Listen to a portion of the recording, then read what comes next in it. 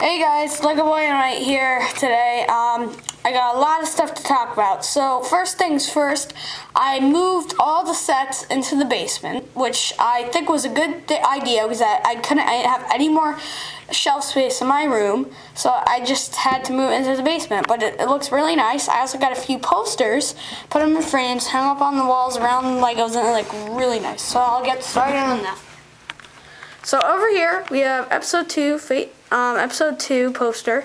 Got that in Washington, and then this is the original Star Wars post movie episode four poster, which looks really sharp. It's really big. It's probably you can't compare on the on camera, but it's really big. Then here I have like a um, poster showing all the characters and all like ships and everything. Looks really nice. Over here, it's just like the classic kind of one where it shows all the people. And yeah. Then I put all my boxes up here on the shelves. And yeah, besides that, I just have to, oh yeah. And then I have a Paw Wars poster. And I have a Stormtrooper poster. And now on to the new sets. Nothing new on the shelf that shouldn't be new, might be, I don't know, remember. On here, I got this, um, basically I got all the rest of the winter sets today for Easter, except for the Windu Jedi Starfighter, which I'll talk about later. Um, so I got the Mandalorian Battle Pack, built that today. Should be nothing on that shelf. I got the V-Wing today, built it. Up here, nothing new. Down here, nothing new. Down here, also, the V19 Torrent uh, no, that's not new actually. I remember making another video.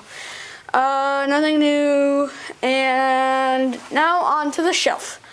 Um, for the Imperial Shuttle, I had to have it on its landing gear because it's really risky to put it on its stand. But it still looks nice, and I have my Design by Me um, tower. And then I have the Ultimate Collector's General Grievous, which is awesome. I love that a lot. So then over here I got base plate for all my clones. So now they're all lined up nicely. Um, that's nice.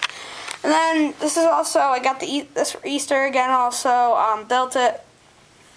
Um, Binary Gunship. Then I got the Battle Naboo right there. And yeah, I came to, I built it today.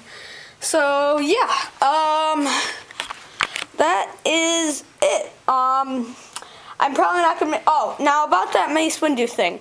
So basically, you you probably all know it's not available in the U.S. because for some reason they usually do that with one of their sets.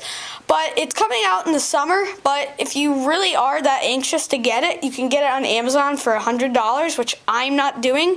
It's a total ripoff. It's $60 more than the original price. I'm just going to wait till it comes out in the summer.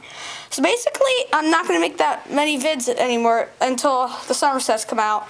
So it's basically I have everything that I need. Um, you know, except for the Mace Windu thing, but yeah.